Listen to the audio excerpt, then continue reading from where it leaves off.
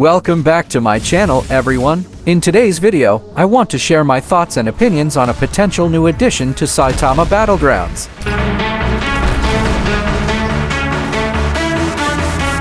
As you may know, the developers of this game are huge fans of the anime Jujutsu Kaisen, which is why they added the character Gojo.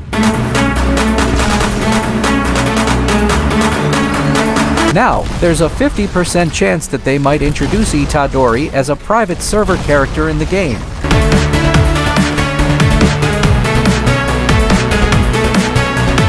Keep in mind that this is solely my opinion, but let's dive into the details. Before we discuss Itadori's potential moveset, it's worth mentioning that the developers may add him once they finish working on the character speed O Sonic.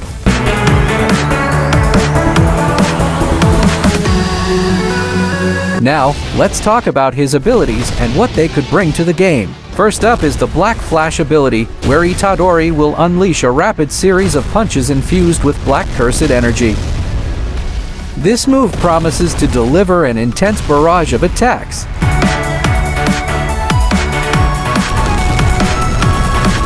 Next, we have the Cursed Combo. Itadori will grab his enemy, unleashing a series of four powerful punches, followed by a devastating strike with his fists enveloped in blue cursed energy. This combo sounds like it could pack a serious punch.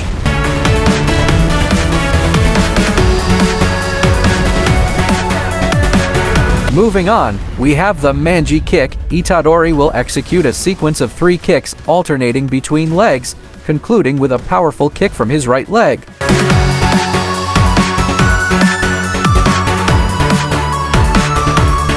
This move will deal a substantial 50% damage to the enemy's health. Itadori also possesses a healing ability named Simply Heal.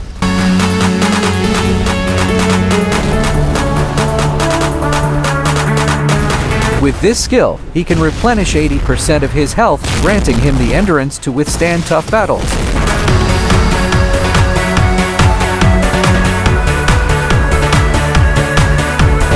Now, let's talk about Itadori's awakening. When activated, Itadori will rip his shirt apart, becoming possessed by Sukuna. This transformation unlocks a whole new set of devastating abilities.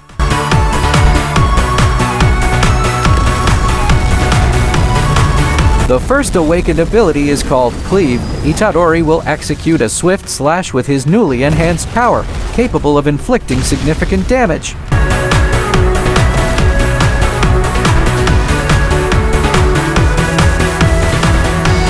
Then we have Pierce, which allows Itadori to deliver a powerful strike that leaves a gaping hole in his enemy's stomach. This move sounds brutal and devastating.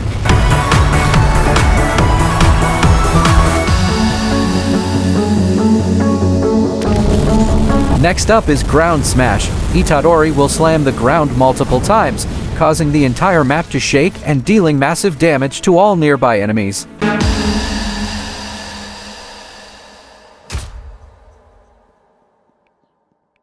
This ability has the potential to turn the tides of battle. Lastly, we have the ultimate move, Domain Expansion, Malevolent Shrine.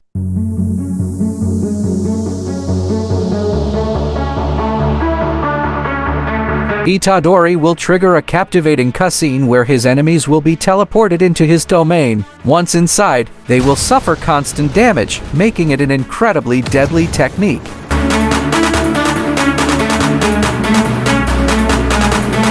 That wraps up today's video, my friends. I hope you enjoyed my breakdown of Itadori's potential moveset and awakening in Saitama Battlegrounds. Don't forget to let me know what you'd like to see in future videos. Until then, take care and peace out.